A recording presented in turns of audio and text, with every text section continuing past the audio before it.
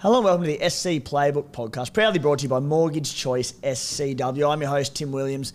We've arrived at our year in review podcast, one of my favourite of the season, recapping the good, the bad, the ugly, even the disastrous, my rank. Uh, guys, here to do that on today's show to wrap up 2024 and the year that was 2021's 91st placed finisher, the Spy. Spy, how are you, mate? Ah, g'day, troops. Yeah, pretty uh, topsy turvy week actually in the spy as well. We've had uh, Crook with a head cold, uh, Sambo's grand final yesterday down at Queanbeyan. Bloody good stuff. Back to back for the Roos. Got the snip. Um, yeah, plenty going on. so it's all been happening, boys and girls. All been happening. But uh, Never met a bloke more open yeah, about I getting snip. The funny thing is, right, me and two of my brothers, right, not as open as me, very open about anything. So anyway. But like when people ask me what I've been doing, well, that's what I've been doing. what else am I going to say? for you, mate? You all I was actually going to say, genuinely for a reason, I highly recommend it. So if you shit, if you if you're shit scared like I was, just go get it done, boys. If you need to. Two was enough, mate. Um, two, yeah, two's plenty. Two kids is good, but uh, no, it was all right. Went in, got the bus into town, and got, got the business done. And you, There is uh, a story to follow, but I won't go all into that. And uh, mate, you bit of advice for me. Not that I've had any children yet, but uh, two pairs of undies the week after. Uh, yeah, I've still got two on now, and the, ca- the car trip home with you yesterday was not ideal, a bit bouncy. But, uh, Oh. yeah, apart from that, going well. You've caught me off guard there. I love it, mate. Uh, also with us, uh, a much more tame 2021's sixth placed finisher, Clementine Cassidy. Clem, how are you? I'm good, thank you. So I've had a great week as well. So had the playbook event on Saturday night, which was really fun. Um, up on the Goldie yesterday. So nothing as exciting as a snip, but up on the Goldie yesterday for the Coolangatta Gold launch, which will be awesome Oh. in October. Um, and then yeah, back up to Brisbane tomorrow. So just came back for the potty basically. Yeah, enormous. What a trooper. that. Yeah, like pre-show, and I was saying, why don't you just stay up there? Like you're up there, you got to go back two days. later. you said for the podcast. I'm like, oh, you're a saint. Uh, and here I was, I was trying to kick you out of your seat. Apologies, you've earned it. This is my seat. Uh, you're not just a saint, Clem, but you're also famous. I mean, even more famous than usual, and it is to do with that Wires jersey. We did go out to the round 26 Warriors and Sharks clash, and you've gone viral. Yes, well, the great Anton Posser, he made some really amazing signs. He made four signs, um, and I got to hold one of them. And I ended up on the Warriors Instagram, on their feed, and on also on their story, holding up the Mm. honk if you're Shawnee sign. And it was literally a life goal achieved. Like, that was the best moment, one That of the best moments very, in my very life. cool. I was yeah, very I jealous. was so excited when I saw it. But yeah, what an absolute epic game. It was. It was a brilliant, brilliant night out. We had fun, uh, and yeah, made the Warriors Instagram. So exciting times. Uh, also with us, as always, a bloke who hasn't been limping around the studio leading into the show, Matty the Water Boy. Matty, how are you? I'm good. I'm good. I uh, it was it wasn't the the best end to the year for me, Supercoach wise, but it was the first year I've actually finished. So That's a win. So yeah, it was. Um, I, I'm I'm happy to take part in this review show as someone who actually finished the year for once, which is nice. You will have uh, a lot to share in this one, Matty, about Yep. being. You're essentially a rookie. You're, you're close enough to. I am a rookie, You've played yeah. a bit, but yeah, this year, you said you got through the first time, so there'll be like lessons learned for the first time. Uh, but we will get to that before we do get stuck into it. A big thank you to all those that turned up to the SC Playbook subscriber catch up on Saturday. Went to a pub in Sydney, had a few beers, had some pizzas, watched some footy, watched Guru and uh, his he- uh, Supercoach draft rival Stevie Heavner go toe to toe for that Oh. Cowboys Doggies clash, which was just outstanding. We had a special guest for the meetup uh, in Blake, who we'll get to shortly, but he may or may not have won fifty thousand dollars over the weekend. Good night, Spy. Bloody good night. It's actually, we also had Sambo's GF the next day, so I was driving pretty early and I'd been a bit crook early in the week. So I couldn't launch as much as I may have hoped to, but still five or six beers and it was bloody good stuff hanging Yeah. out with the, with the troops. So thank you to all that showed up for that one. Something we will look to do again in the future. Hopefully pre-season next year, again end of season, and uh, just get the community together uh, and have a few drinks. Uh, guys, the SC Playbook Unlimited League winner. It was first overall. Blake, coach of Bryce's boys. Came for a beer with us Saturday night. Uh, I was excited to vicariously live through someone doing well in Supercoach this season. He takes home a thousand from SC Playbook, fifty thousand dollars from News Corp, six thousand dollars from beers and break evens, He won his local league grand final with De La Salle last weekend. Bloody hell. Big weekend, Clem, for, for Blakey boy. How good is that? Oh mm. my god, good for That's him. epic. Epic. know. Yeah. Oh, Whoa. Some people don't win a grand final in their lives, let alone doing it the same week you win 57 grand. So exciting times. Uh, also, a shout out to my old colleague and boss, Davey Campbell, who stormed home into second overall. He scored like 1600 this week, Davey. One of the best blokes you'll ever meet. Unfortunately, as a News Corp employee, he couldn't uh, couldn't claim the 5k on offer. But nonetheless, incredible year from Davey. Blokes, blokes never been so happy that he didn't win something. Cause, Seriously. Oh, I mean, you can sort of live with not taking the 5K. It would sting, but 50 is a lot of Yeah. money. So, Yeah. yeah. Hopefully, News Corp look after. I was going to say Big Davey, Little Davey, Little Mark. Yeah. Uh, Clementine, the SC Playbook Women's Competition winner, run by yourself. Talk to us. Yeah, so we had a really tough competition. There's so many good female players in Supercoach. Um, and so we called it the Year of the Girls League. Um, and we had Amy come out as winner, and she's the coach. Satch? Amy, I don't know if it is Satch. Ooh. We'll have to look into we'll work that. it out. Yeah, It's a we'll little work that mystery out. at She's one of the OGs. Yeah, she yeah, is. Yeah, but there's so many good female players in the playbook subscribers. Um, so Ponga's Pogo Sticks, she's the coach of that Right. team. Um, so she absolutely smashed it, and so she's going to get $500 donated to the charity of her choice. 500 was it? Bloody from hell. Playbook? Yeah. thought it was 250. uh, yes. Better check the contract. Yeah, yeah check, check the T's and C's for that one. Uh, beautiful. So we don't know exactly who it is just yet, but we'll be able to work it out. we need to work out which Amy it is, but yeah, Yeah. Who, whichever Amy it is, she had an unbelievable year, and congratulations to her. Nice. Yeah, Reach out, It out Amy. the gals. Reach out, Amy. We will work that one out, though. Uh, now, today's show, let's get stuck into it. The year in review. How we went, our best trades, our worst trades. Uh, the biggest talking point, and what will take up probably the, the major, the majority of the show, reflecting on the lessons we learned. Biggest talking points. I learned a hell of a lot from this season, a lot to chat, touch on there. Uh, we'll go looking at our standout moments, anyone that we may or may not have added to our never again list. Always an interesting one. See if you come up with any names there. Uh, also, look ahead to 2025. Some potential rule changes we wouldn't mind seeing implemented. That is this week's show. We're also going to have one next week, which will be the Supercoach Award Show. So we'll break it up into two weeks just to get you, give you a little super coach fix through finals. Marketing 101. Well done. Yes, thank you. uh, guys, let's get stuck into it. Spy, lead us off. How'd you go? All right. I've in the week leading in, I was wondering how I was gonna like. Oh, how does you how do you compare it? I was thinking I want to compare it to an NRL side. Where do we finish on the ladder? I sort of think I ended up six in the six thousands. I was about two hundred to three hundred points off the three four Ks, which is really thought I was going to finish there, but it just Just quickly, Yeah. was this is this a spy 101 approach of in the 6,000s when you actually finished 6,999th, or do you actually not sure? I was actually six four. If you want to know Okay, exactly, okay, yeah. I'm closer to six. Yeah. I'm closer to five than seven. Um, Fair. But either way, I really wanted to get into that three four k mark. If I would have, I reckon I would have been like, yeah, maybe a fifth, sixth place finish in the NRL home final, Hmm. knockout final, nonetheless. But I reckon in the six Ks, me personally, where I set my goals, I reckon I've just missed the eight, probably like the Raiders, like just on for and against. not a disaster, but just not good enough to be there. If I was to scrape into the eight, not sure whether I deserved it. Some of the decisions I made. So Needed it. Needed a Sunday afternoon round 27 miracle to scrape into yeah, the eight. maybe like a Marju four tries Sunday Arvo. Maybe I would have then said I'm in the eight, but it wasn't to be. Um, that's right. We'll get to, to the ins and outs of why, but something did happen. I actually only set myself two goals to start the year, apart from obviously win it all, which is our goal every year. It was to break the curse of Clementine Cassidy. Tick, thanks for coming. And to dust up Matty Ryan. Tick. You thanks got Matty. coming. Yeah, pretty comfortable in the end, the big fella. So he was loitering around a bit there the last month, but it took them both to school. And, um, you know, maybe I just got to set my targets a bit higher next year. I've, I'm done with them. Blake uh, Blake can average 50k, but you've knocked off two two big big rivals there.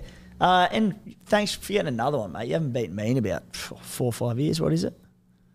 I definitely beat three years ago because I came 90th. 2021. Which means I'm now beaten you two out of four, so we're about equal in the last four years. But you- Last year? or this year. Oh, this year. Uh, last year, I don't think so. I can't. Nah, remember. he didn't last nah, nah. No chance. Uh, we'll go back and review the records, but yeah. Clem, talk to us. All right. Well, first of all, congratulations, Spy, on Thank finally you. beating me. It's nice to keep things competitive for next year, and I've got you right where I want you. Um, so, on the beers. so for my season, I finished. I like to think of it as just outside the top 10k because that sounds so much better than 11,000th, 100th. Um, Mm. You can sum up my entire season with cheek hookers and bye round benders. like, my season just went off the rails in round 14. I was actually inside the top uh, 5k in round 13 and like feeling pretty good about myself and then it just literally just went nowhere like all downhill from there um, had the same three hookers all year which was cheese brailey and danny levi Oh. um, so yeah basically that sums up my season At least you didn't wait, uh, waste trades at hookers. I suppose that's one thing. One i probably should have Uh, for the Kuma Stallions, it was an absolute disaster. There's no, there's no way to sugarcoat it. Uh, we finished in the 14k territory, by which I mean 14,900 and about 99. Yeah, yeah, yeah. Uh, so look, we weren't far off the top 13k. Uh, it was a basket case of a year. Very disappointing. My last year was my last year, worst year on record in basically since started playing Supercoach properly. That was about 4k. This year, the wheels just fell off, uh, and I have some pretty strong theories on why and a lack of adapting to a few new new uh, rules in the game. We'll get to that very shortly. Uh, really disappointing though, but I'd love to blame it on injuries and things going wrong, but I don't didn't have too many more than uh, the average super coacher, so I can't even really point the finger at that. It was just pulled a few wrong reins. Was so- Mad Monday good at least? Oh, we, yeah, we launched. we had a good crack. You just got to, you know, wipe the tears of the past and hook rebuilding in. Yeah, it exactly. We're, in a, we're in a transitional phase. uh, Maddie, how'd you end up, mate?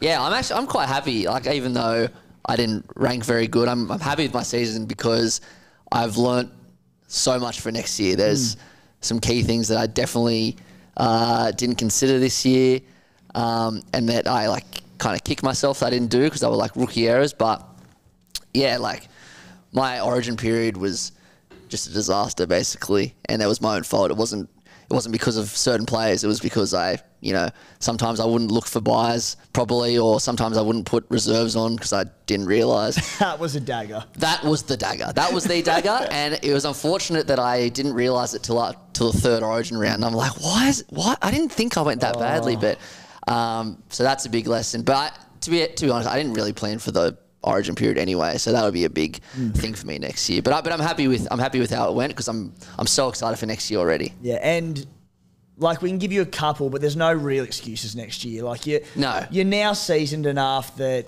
you can you can maybe point a finger at one or two things, but no real excuses. There's no excuses next Yeah. year. They, they, they were the definition of, of rookie errors. And if I make the same mistake, I mean, I'm not going to make the reserve mistake, but if I make the mistake of um, not looking towards the origin period and bye period, then well, then that's my own fault. You've so, got yeah, yeah. no one to blame. All right, let's get stuck into the nitty gritty. So we'll go through a few trades, a few little standout moments. Uh, then we will get into the reflection on the year, what we learned, the, the real good stuff. Uh, but Spy, your best trades for the season. Best trades. So I was chatting to you before. It was a weird year in that I didn't make any many trades. I was like, geez, that was good. Like, what a good trade. But I also didn't make many bad ones. Went through last night. There was, there's nothing there. I'm like, oh, what a what a horrific trade. Geez, I wasted that. Um, it was actually who I traded out was my issue. But in terms of best, was it best trades to start with? Best trades. Definitely Scotty Drinkwater round five. Brought him straight in against the Titans, captain him for 150. Um, and I was looking really good at that point. Um, that's when I was hoping to launch after that, and it just didn't end up happening. But I reckon the only other one outside of that drinky skipper was probably Blaize Talagi. I bought him in pretty quickly, played him when he was at fullback all those games, held on to him when a lot sold when he went on that, that run of tries. Interesting. So, like, uh, prior to this, Guru and I recorded our what we've done for Beers and Breakups. It's a bit different to this. We've gone through our trade by trades of the season and looked at how that sort of panned out. So, just to differ the shows. And we both, like a lot, sold Blaize Talagi. And at that time, I think he got injured, then he got benched, and then Parra had a bye. it made sense at the time, especially with the benching. Those, I think, like yourself, that held because straight after the bye, he came back into the starting team. I think at fullback went on his run. Mm. You held him through that initial period, or All I did you trade him back in later? No, I held all throughout. Yeah, so you yeah. Which was the story of what I didn't do the, with the other blokes this year, right? Mm. Like I didn't show that patience where I was like, they'll come good. Maybe they got a high break even, but class is class. I backed Blaize from the moment I saw him. I'm like, this kid's unbelievable. So I was like, keep him in. Then he went from fullback to the right wing outside Mitchy Moses, scored like four games in a row. Like, this is awesome. And then I think after Mitchy got hurt, he swung back to the centres. I was like, that'll do me. But yeah, Blaize Talagi, bit of, bit of love there for Blaize. But outside of that, there were plenty of solid trade ins. But that, that was my year, just solid. I kept doing all right stuff without hitting the heights. So, yeah. Hmm. Clem, My best trades points wise was undoubtedly Teddy and Ponga um, when I bought them. And I think like sometimes I was just holding my whole team together. Um, so yeah, definitely glad I bought those two in. Um, but my actual best trade in my heart is SJ. Definitely SJ. Bringing him in in round 26 for his final game. Um, so stoked I did that. Like it just added something extra, like as if you could add anything extra to that game. But like just standing up on the hill there and just knowing he scored me 104 points in his last game, like just so epic. So he's going to be my best trade of the season. SJ is the best trade in. Like that's iconic to go Yeah. out with that. I Yeah. was stoked as. Uh, for myself, mine was a little about round round six. I brought in James Schiller at two thirty eight k. Now James Schiller not my best trading of the year, but it does segue nicely into it. So I bought him at two thirty eight k. I sold him in round twelve for four sixty eight k at a 100, 230 k profit. I then bought in Tyran Wishart at three eighty one k and sold him in round 21 for 646k. That by far and above was my best trade of the season and sort of uh, hang the hat on that one because there wasn't too much else to get excited about. But wish he got me through that uh, the bye period. He had dual halfback five eight. Dill Brown as well, who had the dual, so was able to swing those. Wishy was just a fantastic, fantastic pickup.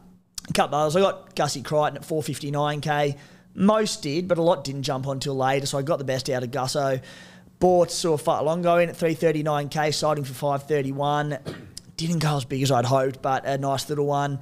Uh, and then just the other one was probably just starting the year with Hamiso Tabuai-Fidow, 600k. He was at about 8 or 9% ownership as a pod. Averaged 85 for me across the first like three or four rounds. Then he got injured in round, I think it was like round five, early on in the game for about four points. That hurt because he would have been about 780k after that. And at CT Dub, people would have struggled to get him in. So I brought him in for his ton as well. About a week after you or something, we might have started. But Mm. Yeah. I grabbed him for his ton. I'm like, we're on here. And yeah, he got hurt four minutes into the next one and bugger. Yeah, had him from round round one, and it was all looking merry, and then that injury, but not to worry. And then, yeah, uh, spy worst trade. Oh, sorry, worst trades. Worst trades, just the three. Um, again, nothing overly bad, right? But Dallin Watene-Zelezniak, as we know, no good. Jumped on, back the was in at, I don't know what round, round seven or eight or something. He was 720k. Round seven. Yeah. um, he offered nothing. He, even when he got chances, he dropped them. It just was not Dallin's year until the very end at Shark Park. So he finished well there. I'll But, jump in um, on you yep. quickly, Spy, but definitely my worst as well, Dallin. And the first five games that he played leading into us trading him in, he'd average, he was averaging about 75 80, hence the price. The Warriors had started okay, but not their best. We were sort of backed them. Said, no, no, like they'll bounce back. The form's Yep. coming. There are some signs. He went on to score 61 against the Dragons. He scored from memory in like the last minute to get He himself did. 61. Yep, first game only. Then he went 47, 25, 23, 30. Before you knew it, he was 460k about four or five weeks later. No, it hurt. I sold earlier than you. I jumped off pretty quickly a couple weeks later, but yeah, lost a bunch of cash. And I do Earlier feel like me, I got rid of him by like round 22 or something. uh, I do feel like Supercoach is a lot about momentum. Like Mm. if you get your momentum halted, it can hurt you a bit. On the flip side, if you make a good trade and you ride it, you can just go off the back of that and just just roll with it. Um, second one, Blake Brailey. Sorry, Jayden Brailey killed me this year. Brought him in at 380k as my backup hooker. I'm like, this is the trade of the century. Starting happy days. He was back and fit. He got benched about two weeks later. Like, doesn't matter. I don't actually have to play him. the weeks I played him and had to, he actually went back to starting, scored me 30 twice. I'm like, what is going Mm. on here? Didn't play him last week because Connor Watson got back, got cleared. He scored like 90. Had to play him this week and he got 44. And to put in perspective, I was like 44. I'll take that. Whereas before that, he was averaging as a starter like traditionally 60. So that hurt. Hooker was the biggest drama of the world for me this year. See, I did the same with Brailey, and um, even the first week or two that he did it, it looked like a masterstroke, and he scored well for a few weeks, then went to the bench. Yeah. I got away with it because I started the again. One of my best moves was I started with Reece Robson, who averaged about 60, 61. It was nothing ridiculous, but in a pretty bleak hooking position because he was so durable and played just about every game. I very rarely had to play Brailey, so I got away with that one. Whereas you, because you had to alternate, Yeah. you had Appy for a lot of the time. No. I had out. Robson to around 19. So I'm like, doesn't matter. I've got Blake sitting there. And I'm like, oh, around 19. This is my third one. Ah. like, I'll grab JMK, Marshall King. Oh. Love him. One of my favourite players. I'm like, I'll move away from Robson. Could just hold him for the year, but let's let's get on the attack here. 19 minutes into it, I was actually in the sheds warming up for the Mighty Ferrets. My first game, stuck into my bag just before we ran out. Like, I'll just check what he's on. 19 after 20, sweet. Like, and then I, I checked WhatsApp. and was like, oh, sport, spy, RIP. I'm like, what has happened? And he'd done his foot. He's out for 10 weeks. Then I got Cook in the week after. Then I sold Cook because I thought I was going to lose his spot. I used like three trades at hooker that I'd never planned to do. And it was just a calamity up top there. That was in the uh, that game of footy, obviously in the, the pre snip era, spy, and that was. Uh, I wonder if you're like a, a prized cult that just can't quite keep their mind on the on the game. Yeah. Now that you've had the snip, you've been gelded, and Yep. some of them come back and become superstar superstar um, horses. So Whew. Asking price through the roof, you superstar gelding. So if you pull the boots on next year, you might just find you've picked up an extra five, 10 k's an hour of speed, and w- worth giving it a crack. First game I was tagged a couple of weeks. so, All eyes. geez, to be honest, it it adds up. yeah. Uh, is that it, um, in terms of bad trades, yeah, that's all. Clem? All of them. No. Oh, Um, Ellen, we have. yeah, so it all began at the beginning of the season when I started with cheese. No. Um, so I traded in Brailey and kept him, so basically I won that one. Um, and then also, Hammer Hammer might have been your best trade, but Hammer was basically hammering the last nail in my coffin. I used my last boost on Hammer, and literally he just went and scored a bunch of 30s and 40s. Like, in games that the Dolphins Just- won well. Yep. Watching was like the most painful thing ever. I think I was watching with Spy one night and I was like, is he allergic? Why isn't he touching Yeah. the ball? Has he been told not to touch the ball? What's happening? Um, so that's definitely one of my worst trades. Um, but Nicho, bringing Nicho in for those final two games, um, trading out, trading out Jahrome Hughes and having Nicho there for those two games, that was a pretty bad trade. But I owned Nicho at some bad points, like the three point three point game against the Panthers. And yeah, so I don't think I, yeah, I think I let my heart lead there. Um, and then also not trading out my cheap hookers. Like that is a big mistake. I So- personally think you were being very stubborn on that. You're like, I've got him, I'm keeping him. Do you know what? I think you're right. I know I'm right. Because that I'm was not to admit that. tactical. I Yeah. have no idea what I was thinking, eh? I was just like was using trades on It was. like every other position except for hooker. So Like, I don't need him. Very good. For the Stallions, Dallin Tennis Lesniak touched on that one. Spy absolutely killed me. Uh, Joey Manu, the curse is well and truly alive. It's, Like, oh, yeah. I bought him at 842k in round 12, paid up for him. I sold him in round 18 for 624k at a 200k drop. And even then, it was like, it was because of injury. He broke his hand. Even if I held him, I'm like, he'll get scores and he'll get back 700k, whatever. Uh, just disastrous. Then bought him in for the back end of the season. Roosters went, Tim's traded him in. Let's decide to, let's start using all our attack down the left instead of the right like we have all season. And last year and the year before, just out of the blue. Yeah, just finds a way to hurt me. So uh, I mentioned on beers and break evens, but look, at least Joey Manu, at least he didn't get hurt in the back end of the year. So the curse is alive, but he's fit and good for finals. So that is the main thing. Uh, and I'll kick us off with other standout moments that may have been good or bad. I don't know if you've jotted anything down, but don't know if it comes under worst trades or what it might- be. But uh, on that Nicho Hynes theme, Clem, real dagger in my season when he got to over a million dollars and then he had the, the game against Penrith where he got injured, only played a handful of minutes. A few people jumped off him then. He missed two games in a row off the back of it. Drop price, drop price, and I just went again a bit stubborn. I went, no, no, like this is the bloke who's been the best scorer in Supercoach two years on the trot. And I said, even if there's the price drop, the tons will come and he'll get back up in price. People will buy him back. I'm going to save those trades. He got injured again at bottom at about 690 once he'd plateaued. That that also coincided pretty well with people going to Jahrome Hughes, and I held uh, Nicho, and that was just a real, real dagger in my season. Spy anything else that stood out uh, in your season? Yeah, Kalyn Ponga, round three.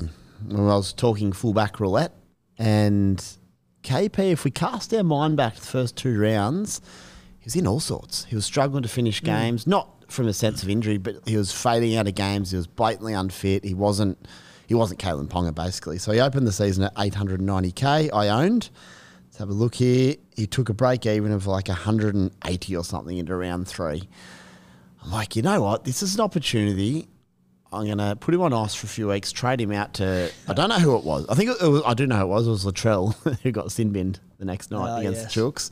Um, bearing in mind, Latrell averaged 90 for the year, so it's not like I went to someone rubbish, but he scored me 30. KP came out and got 86 against Melbourne, and but started to look all right. I'm like, oh no.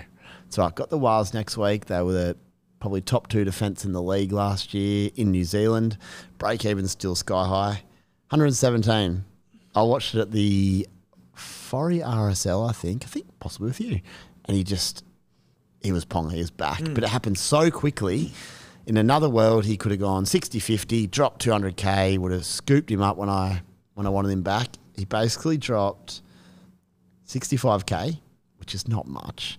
Latrell did nothing for two weeks. He got binned maybe both times. And it really just halted me. And I said in another time, Ponga could have gone bang bang. Trell could have tunned twice. It did not happen. So that that really hurt. I suppose the one thing, I don't know how the rest of it played out for you, Spy, but as you said, 117, 117, 91 in round seven, so not long after you traded me out, 14 in 52 minutes, injured against the Bulldogs, missed a big stretch of games. Well- that had to have helped. Funny you say that. you get him back? I bought him back. Oh, But I how was that not in worst trades of the year? Because I did get his 117 and he's 91. Oh, So oh, okay, you got him yeah. back basically a week later. So I got 200 points. I bit the bullet. I've made a mistake Yeah. here. KP's back. He's, he's the best. Oh. And I captained him for his 14. oh dear. That's about when my season went to like not not rubbish, but just plateaued me. Round six, I was at Domino's ordering on the phone. True story. and I was going around my mate's place. I'm like, went to pick up my Domino's. It was on Nicho Hynes, who scored 140 later that day. And I was in line. I go, hey guys, checking my pizza ready for pickup. Like, oh, just a minute. It's you, Tom's. It's out the back. I'm like, oh. Ah, let's change it. There's 30 seconds to a kickoff. I just that's what my gut says. So if the pizza had been ready at Domino's Forestville, I would have got 140 as captain. Have been traded out, and momentum would have ensued, but it was not to be. That's the kind of nightmares you just need to mental block. Take it out of your memory and just. I'd actually on. forgotten about it till then. Oh, I right. forgot about that too. Yeah, true. And that's you know, like, like you can tell stories and you add a bit of mayo. You're like, this will sound good. It was genuinely 30 seconds, and the pizza was genuinely late, and they're never late at Domino's. So. And they were adding mayo to it uh, out the back. it was a That's cheese. why It was, cheeseburger pizza with the mayo on. True story. Clem, anything else that stood out that you want to touch on? Yes, well, my worst moments were definitely the Nicho three point captaincy. So that stung versus the Panthers. I had the Dom Young negative 15. I had Danny Levi for an AE for a stunning 11 points. Um, so plenty of bad moments for me. For my good moments, I actually chose to look outside of Supercoach. So for my good Much for, easier. for my good moments, one of the best moments I think for the season for me was being up at Magic Round Oh. and meeting so many legends, like so many like playbook subscribers and just so many cool people up there. Just an epic time.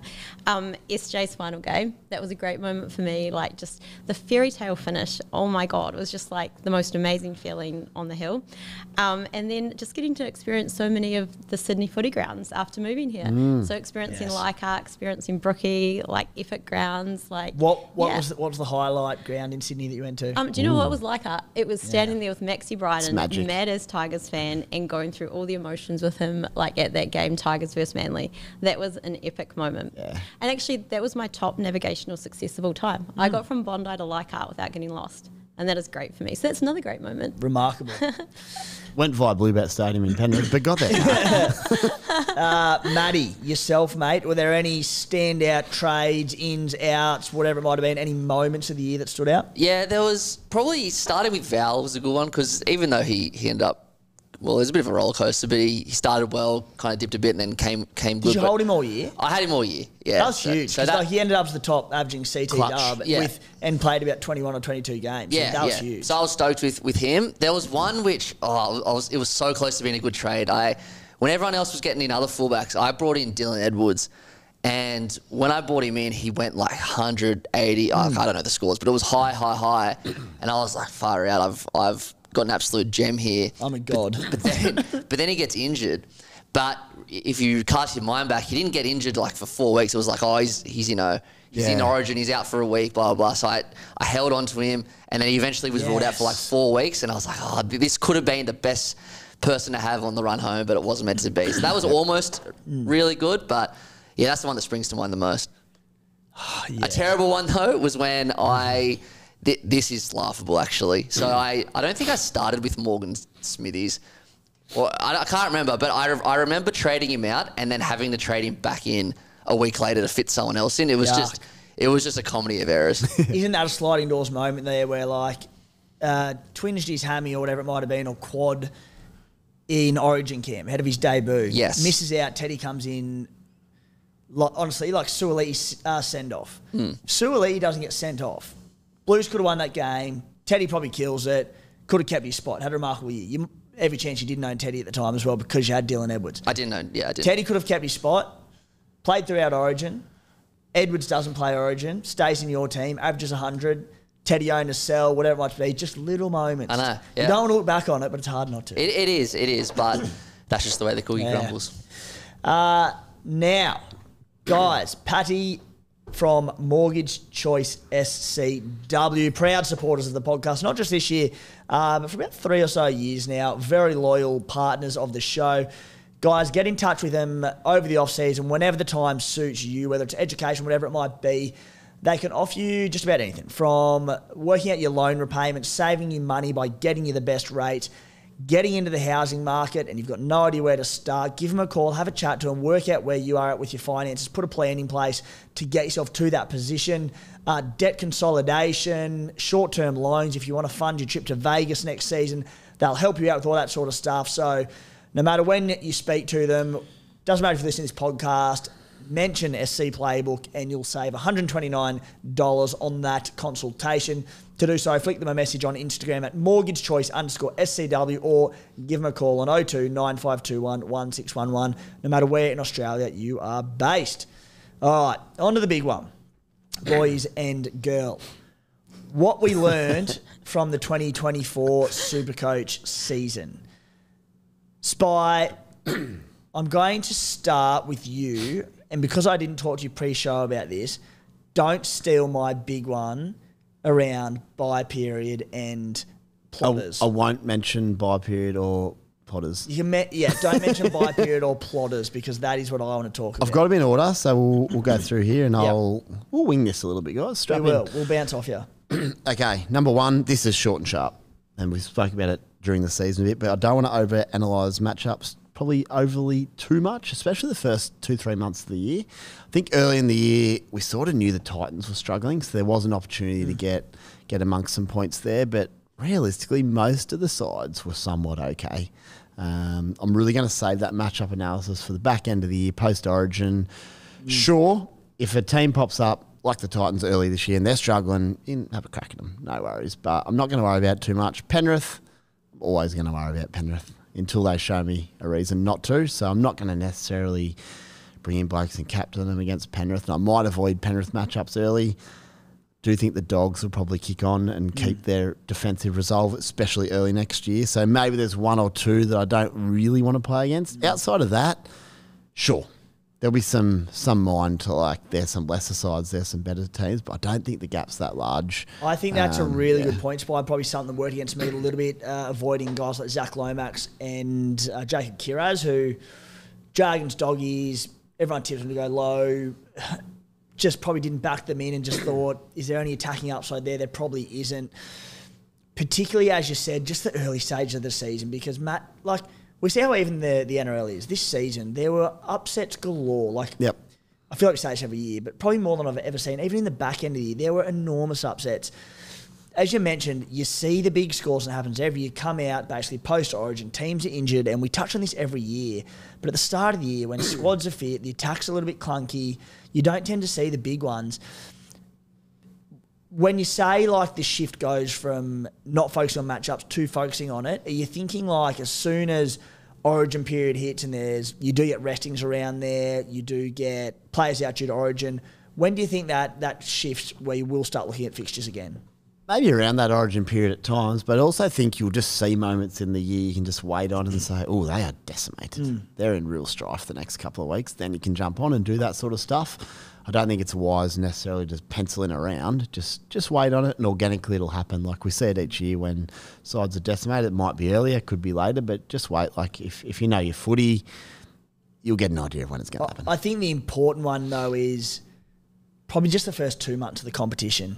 eight weeks is a good Yeah. good sort of guide to say everyone's up for it, and we know they're up for it. But I feel like in previous years you could match up a little bit. Mm. It's probably getting harder and harder because. Yeah. sides are getting closer and closer.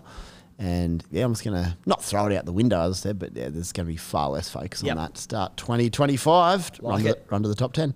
Um, number two, already spoke about this a little bit, but I'm just going to hold that roulette as well. Um, tried to jump around fullbacks a little bit and stuff early.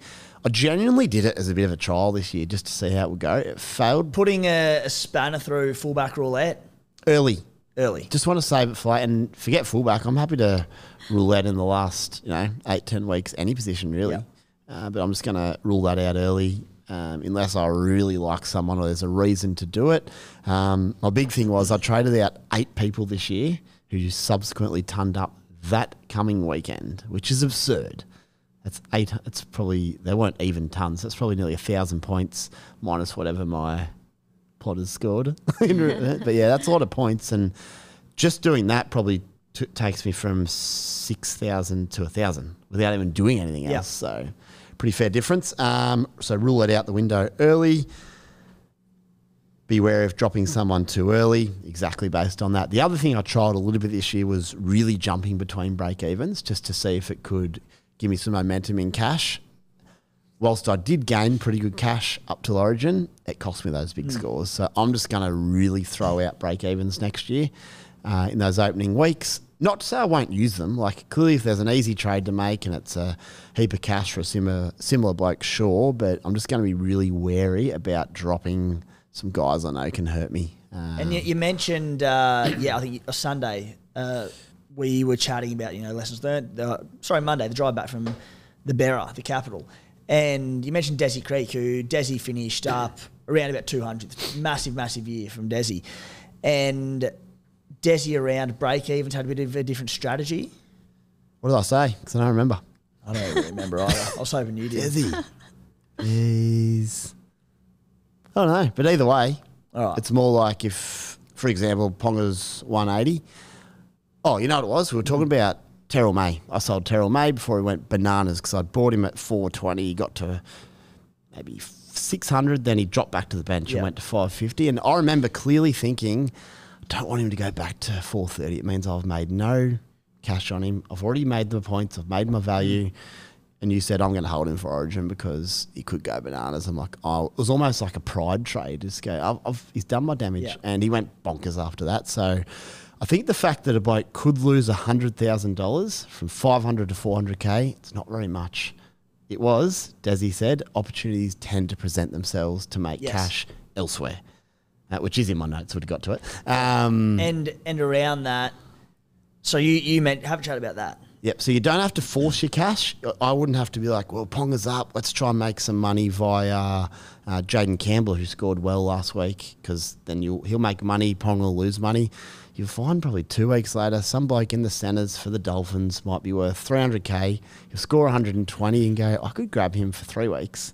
Don't have to play him, and he'll be worth 520k.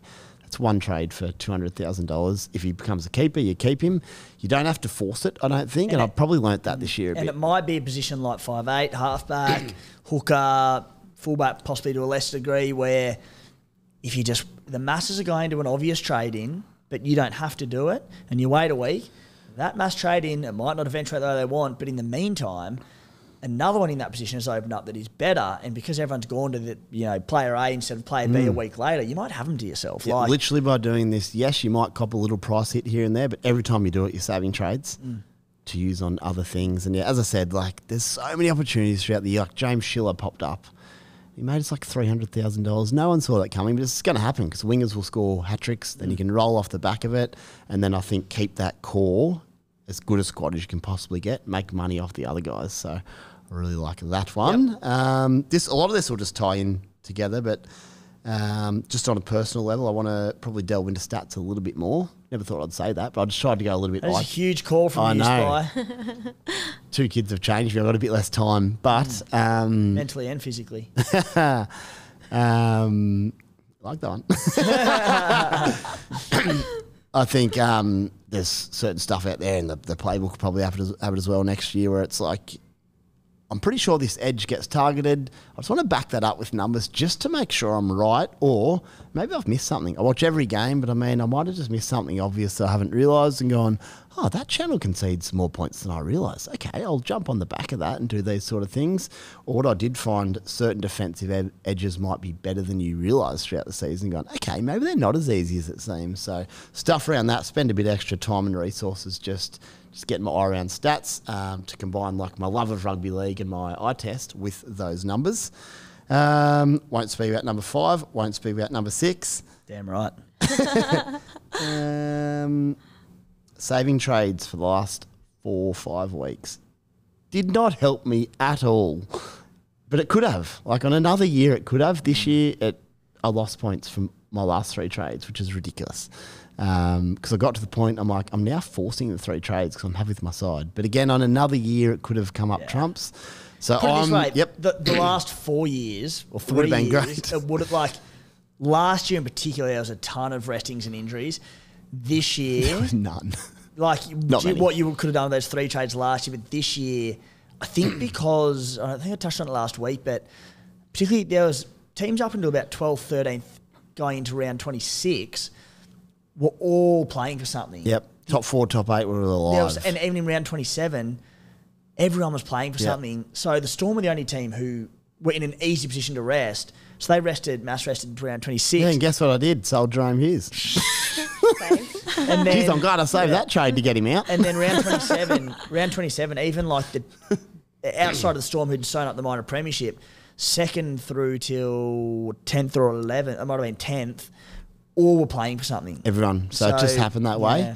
So that's not so I don't want to have anything up the sleeve. I still think I'd want to have a couple, just emergencies, that sort of thing, a late move. Three, three with two rounds to go, as you said, could have been a master stroke. Yep. But three with two rounds to go, that's a lot. But I think it'll tie into if I want something to happen earlier in the season, whatever point it may might be, I'm happy to pull that hmm. trigger and not worry too much about keeping five, six up the sleeve for those last six rounds. I think it is pretty viable to run from round 21 to 27, for example, with three, four trades and a deep squad. I'm, I'm perfectly happy with that. This year I tried to hold more.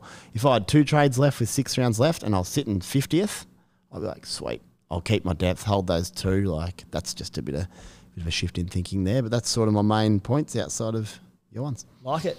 Clementine, hit us Well- with your best. Well, mine kind of ties into that actually. So mine first one is don't be such a trade hoarder Mm. because like definitely I hoarded those trades, um, and I think I was having a gentle gloat about it to Spy in round thirteen that I had all these boosts and all these trades, um, and I think I think it really backfired on me because my team wasn't set up that well for the byes at all. Um, I had a lot of players, and I definitely had players every week, but they were the cheaper guys, and they weren't the guys that were scoring the big points, and I didn't really plan for that very well. Um, and then coming out of that, I had all these trades and I just started willy nilly using them, just like no forward planning. So, forward planning is like definitely a big one I need to work on next year. Um, but like trading in like people like Hammer for a bunch of 40s, Joey Manu was my last trade in round 27, like for 40 points. Like, so I think definitely forward planning is another big thing I need to do and look at who can be scoring those big points, you know, down the line. You finished sixth and you, you got complacent. I really did You this year, forgot didn't what I? got you to six, and that was research, study. You just you said Hard "No, work, I know. dedication, attitude. Oh dear. Why did I come back from Queensland? I know for this. Um, but then also, um, like just like you said, like trading up players like Blaize, like Tommy Talau and Galvin prematurely, and then they'd go and score these tons the next week. So I lost a lot of points that way as well.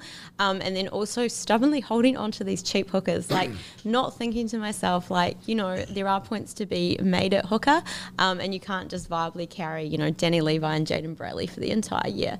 So that was another big one for me is just really try and spread out like you know how I'm doing my trades and just make sure the entire team is set up because I haven't even worked out how many points I lost Yeah. on having those hookers. It would be a lot. It would be a lot of. That was a big one. Yeah. Like, you're somewhat, this is sugarcoating it, but somewhat fortunate that there weren't any real hookers who really took off and averaged Mm. at 75, 80, like we know Grant can do, Cookie, that sort of thing. They all sort of plodded a harsh word, but sat around that 65 mark. But yeah, it was a tough one. Yeah. So those were my biggest mm. learnings, I think. Yeah. Before I let you go, I'll also mention that despite everything I just said, everything I tried could have come up trumps and I could have had my best year ever. Like at the end of the day, I know. some years things go your way, others they don't. That's just that's how footy goes in sport. Yeah, you sit there and you say, I did this wrong, or I did this wrong, or I did this wrong. On any other year, it could have been Could have bang had on, strokes bang of on, bang genius. on. It wasn't. But you can only try to learn from your. But there's doing- definitely some good stuff there which I'll genuinely Yeah. take in. Uh, one that I've generally taken in, and my biggest one from this year that I reckon the large majority uh, of my issues arise from leading into the bye period. It might it might have been around ten or eleven. I'll, I'll get it up, but I was sitting okay at about six k. It might have been a little bit more higher. And every other year, I'm sitting around, you know, whether it's four, five, six k, leading the bye period, and I make big moves around there. Come out of the bye period, round sort of 19, 20, 21, and I'm like 1,000 or 2,000, a few trades up sleeves, ready to go bang and make some moves. I went into the same this year and I went, this will be sweet. And I ended up dropping a lot of positions.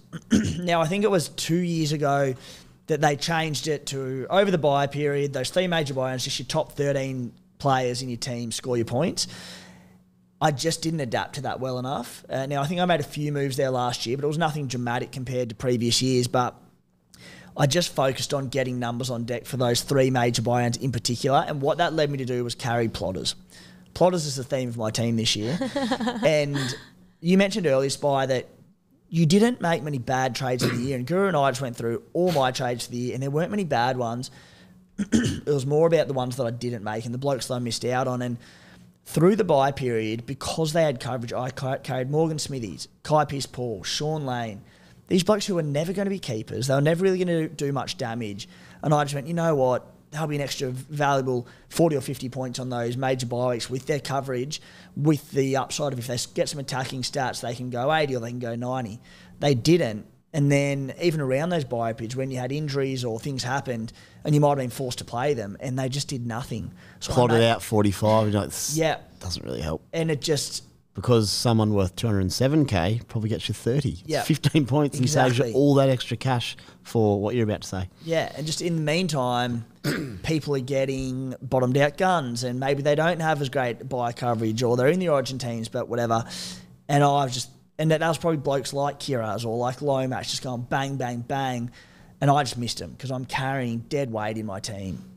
So I just didn't adapt to the last two seasons, changes to that bye period.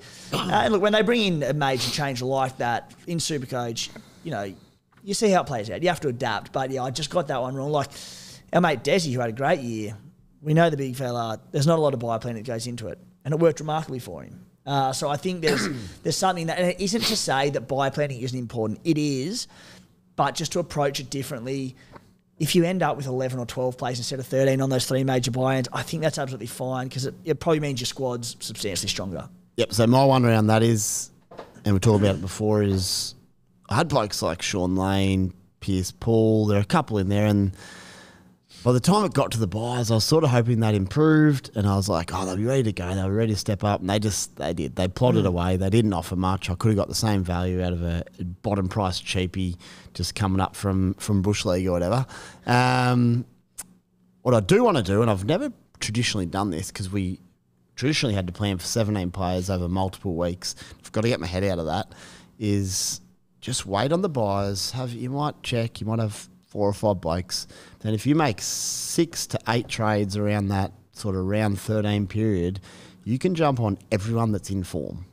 Whereas previously I'd done it in advance, and by the time it got to the buyers the last year or two, I've been like, they're not in form. I got the wrong blokes, but it's too late. So the closer you can make those trades to the bye period, you figure out which teams are going well, which teams aren't. Origin selections go bang, bang, bang, get all the guns.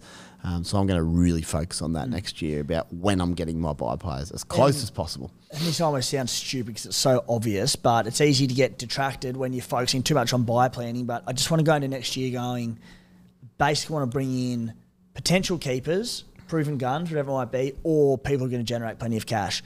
Not players who can do a job over the bye period, who, are, who I know will not be potential keepers. Because if you can jag a couple of potential keepers in there who you don't have to trade out and they're banging out big scores, might be Kiraz or whoever it might be, he might be an exceptional um, example, but it can just save you trades, better scores, rather than oh, this bloke plays the three major bye rounds and he might average me 55, which is solid, but I'm like, he could also plod to 45 or 50. I'm going to have to trade him out inevitably. That sort Then you get stuck playing him an extra game Yeah, that you didn't plan exactly. to. You're like, oh, far out, I got this bloke. um, Yeah. Back to fundamentals. Yes, back, back, to, to, back to basics. Uh, and to yeah, so that was a big one. The other one that I think this was because I was probably chasing from a fair way out, and I'd never really been in that position before. But for whatever reason, I just cast a little bit too much of an eye on ownerships, which I have never done. I have always been of the mindset of I look at a player and he's if he's sixty percent owned uh, and he's compared to a three percent owned guy, I go, who do I think is going to score more on the run home? And I I'll go I'll pick that person. This year I sort of went, oh, I've got some ground to make up. Going with ex player Jahrome Hughes at forty percent ownership, round sixteen or whatever it is. I can't make up ground doing that, da da da. I just did it this year because I was trying to make up that ground. That cost me Zach Lomax. That cost me Jahrome Hughes. Probably to a lesser degree, Jacob Kiraz. Uh, I think I, I veered from. There were reasons around it. It wasn't as dumb as it sounds, but I went Papenhuyzen just before I think Tommy Turbo, just after Tommy had come back. There was a massive price difference. Tommy had a bye coming up, maybe a tough draw. And I was like, well, if I go Tommy and follow the crowd, that won't get me anywhere. Just dumb, and I've never done that. So that player ownership stuff, just not ignore it. It's still relevant, but don't read into it. Too Don't do it for the sake of it. Yeah. Yeah. Um, and just the last one was people saying like, you know, oh, I'm, I'm a bit too conservative in the way I play it. I wasn't like I used four boosts by round nine. I used my last one after the bye period, uh, which I always plan to do. I still think that is the best way to use your last boost, and I stand by that. The three trades I pulled that week were like Cherry Evans, Papenhuyzen, and someone who I think freed up cash the idea was right. The execution was poor. Like I just pulled the wrong reins. So it's like, yeah, actually wasn't that conservative going against the highly owned players who were going really well. Um, you know, not probably swallowing my pride on like a KL Iro a little bit earlier. That actually hurt me not going conservative. Yeah, yeah. So, That's true. but yeah, they're probably the big main ones for me. I'll throw two in that are unrelated, but Britt Nickera absolutely killed me. he went from like struggling away a bit, not at his best, and I can't remember why I didn't buy him around Origin period hmm. because he was the perfect buy. There was some reason back then I didn't do it, whether it was the ownership thing or Nico was in and out. I was like, oh, let's just go against him. He averaged like 80 plus for the last hmm. 16 weeks and just decimated me. We missed a lot of the that last game on Sunday Arbo because Sam was playing. Looked up, like, Nicola, 129. Of course he freaking did. Like, God Two late tries. Yeah. um, and yeah, the Reuben Garrick curse. We've got to make a decision next year whether I just bring in Rubes to start and hold all year or avoid because um, I think he's, well, it's not Manu esque. It is. It's not my friend Rubes. We can't quite nail it together. Tell you what So, is getting Manu esque. That's Dom Young to Desi Creek. uh, Holy that is up there. Yeah. Dom Young, I can cost Desi probably top 50 this year. Uh, Matty, from a, a relative, uh, a rookie perspective, uh, mate, any big takes from the year uh, as you build into the game? The big one for me is I I was kind of caught between planning long term and not planning long term, and like the way I it's it's kind of hard to explain, but like I wouldn't plan for the whole year, but then in like round seven I wouldn't bring someone in because they're going to play Origin in a few weeks, and then I'd miss I'd miss like three or four weeks of points. Um, so I, I was kind of looking a bit a bit too long sighted and a bit too short sighted at the same time. I, it's not that I just didn't plan, or it's not like I planned too much. It was kind of like an awkward mix, awkward mix in between. So I guess next year be more willing to, you know, do more risky trades or put in more Origin players, for example, uh, before the Origin period, but also just have a general outlook of the year and more more specifically the the bye periods, Yeah. uh, which I just didn't plan for at all. Yeah, which you have to, and yeah, like you said, like a maybe like around eight or something. You're four or five weeks out from Origin, uh, but Tommy Trbojevic does have a really soft run, and you're going, well, he's going to play Origin. He might get rested. I won't touch him. That's exactly and what then I he did, goes yeah. 130, 130, 130, 130. Yeah, so being willing to to kind of pull the trigger on that is a big takeaway. For That's me. a good one, hey, and it probably revolves around byes a bit as well. It's like, oh, he's got to buy in a few weeks. I'm like, yeah, we could score 200 twice Yeah. before then. Just Mm. don't worry, don't worry about it too much. Yeah. yeah. Do you reckon? Question for Matty, Yep. and it's you're not looking for excuses, obviously, but South season and the emotional turmoil had to have hurt you. Hard to do both. You know what? It actually didn't because they were so bad so early. Oh, you knew early. So like Yeah. I didn't just I just didn't bring anyone in because like if they were all right up, up until round eight, I might have brought some people in. But the only one I really had on to was was Cody Walker Yeah. all year, and I, And he I- went okay. He went all right, and he was cheap when I got him, so uh, there was no real South regret for me enough. this year. Tell you what, there'll be a few very cheap Rabbitohs Ooh, players to start next year. Yeah, definitely. you could own 14 of them. I think I think I'm going to be I think I'm going to be Wayne Bennett. I'll own the whole team. Uh, now, let's. We've gone for a while. It's been a long season. So we'll touch on this one a bit quicker than I anticipated, but just a few potential rule changes Oh, yeah. that we wouldn't mind for 2025. We can keep it short, we can keep it sharp, but just to get the uh, get the debate flowing in the comment section. Mine's easy and it's going to be pretty short. Bang on about it all the time, but 18th man. Yeah. I actually want an 18th, 19th, 20th. That's what English Premier League does. I just signed up to NFL because why not? And mm. they have a auto for every position if someone's out. So, for example, I'm a casual NFL player, right? Christian McCaffrey was out today. I found out at lunch. There's no way I'm checking sides. so I got some bloke came in. I'm like, because it's fair. I didn't just get one off my worst score. There's going to be plenty of people out there who don't want to check team lists and that every week. And the other thing is, right, if someone gets ruled out and it's Thursday night, you can go, sweet, I'll sub someone in. Someone gets ruled out last game on Sunday, you could have had six guns that you've earned, built the depth that you could have brought in. You're like, I cannot do anything. So just pick an 18th, 19th, 20th. They just come in as required if someone's out. That just makes sense, doesn't it? What's the holes around that? It makes complete sense, and everyone, myself included, are blowing up about like HIAs that happen to players, injuries that happen to players, and you just go, it just becomes a, a lot of luck involved. And for the record, I'm not blaming that for my bad rank this year at all. Like I didn't have it any worse than anyone else, but it just takes that luck out or lack of fortune, I should say, out of the game. As you said, and it rewards people. That, all right, you know they've got a decent 18th, 90th, and 20th men. All goes to plan. Is how you do it, Spy. Would it be purely based around ins and outs, or I don't mind the idea, and I sort of had I like don't mind the idea of like what they do, where you have 18th, 19th, 20th, and you select them. You go, this is my first reserve, Yep, my they're just second locked in. my third. And again, there are a little bits and tricks and trades and, and the way to go around it, but initially I just had 18 man squad, your top 17 scorers in it uh, score. So then if you have your third minute HIA or your seventh minute hamstring go, whatever it is, and that person scores you five points, they become your lowest scorer, drop out, and then you have your top 17, just something like that. It's pretty simple. Yep. So for me, um, the no-brainer aspect is if someone's ruled out over the weekend, you just get your next man up that you've selected in order. You can't just choose the bloke who scored 140. You didn't choose him, but as long as, as long as you've selected him, again, there might be some little ins and outs. There could be a loophole, but I don't care. Loopholes are fun if you're good enough to do it. Whatever. Um, It saves so many headaches and so many blow ups. It's good for depth builders and people that love it, and it's good for casuals who just want to. Because I know for a fact, if I if I'm doing NFL, for example, and I lose three guys and I get nothing, I'm not going to keep playing. I'm like, ah, bugger this for a joke. I don't care. If you're a casual NRL player, we want to keep people in the game. You go, oh, cool. I get to Does. watch this guy on Sunday. Cool. I'll turn on the doggies match and watch. Who's this? Kiraz. Oh, he's awesome. Can't I put him as 18th, but like it's good for all parties, I think. In relation to the HIA and injuries, I really think I don't know, probably a little bit harder to do, but I think there should be some sort of minute cut off for like maybe it's the first 30 minutes.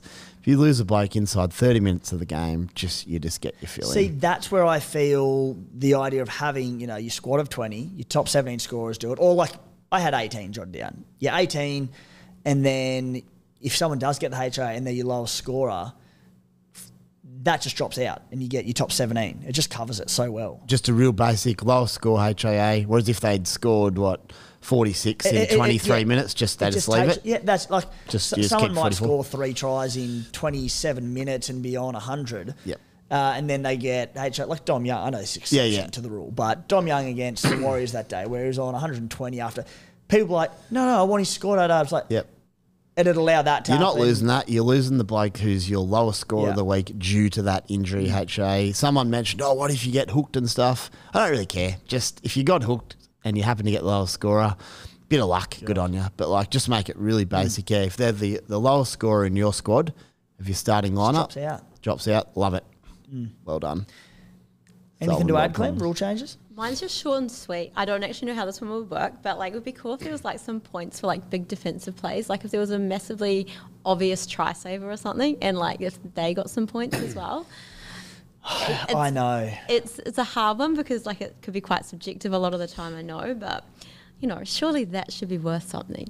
It's you're spot on. There should be something, but it is so subjective. Like when people, you know, you get held up in goal now, which is plus three, but there could be four blokes involved in some mad try saving tackle. Yeah. Who gets points, who doesn't? It's. I'm with you. You told me the other night how you fix it. Do you remember what it was? Well, like if like the It fullback, was a one on one tackle. for example, one on one runs cover across defense. and it's him, and he's definitely saved mm. that try. If there's no one behind him, like it's just yeah, that's try just saver. literally a try saver, right? Yeah. Like, so, and then it'd just or cover defense coming Yeah. like could be a back rower coming So the, what that'd obviously do is it'd inflate fullback scoring, so they just benefit, I guess. Yeah, there's probably some cover defenders as well that would get some. Yeah, but like um, fullbacks are going to get fullbacks get three of those a more. game. Um, but I think you probably also add in what we spoke about, and it's um, if you get if you make 40 tackles in a game, you get an extra five or 10 points. 50 tackles is 15, whatever it may be. Mm. I, I would like Reward some work rate. I would like them to re- reward work rate a bit more, just to balance that gap between front row forward's boring at the moment. Two RF, two RF's okay, hooker's okay, but if they just rewarded the workhorses, like the most important part of a rugby league team, the workhorses, well, not necessarily, but a vital part of it, important.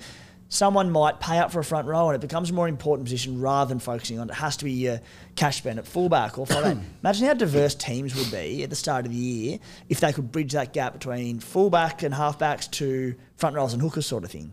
Because you, would- you'd have to work out where do you spend your funds rather than knowing where you're going to spend it. and in terms of watching games, like this is way back in the heyday Hmm. of Gallen and Corey Parker and co. You could be watching a game, right? Say you got an extra 10 points if you made 40 tackles Hmm. in a game. You'd be up to 37 tackles, five to go. You're like, get in there. Yeah, Get in there. Like, it'd be fun. And if you're up to 50, which 50 is very good. So I'd be happy for an extra, maybe it's five points for 40 tackles and an additional 10 for 50 tackles.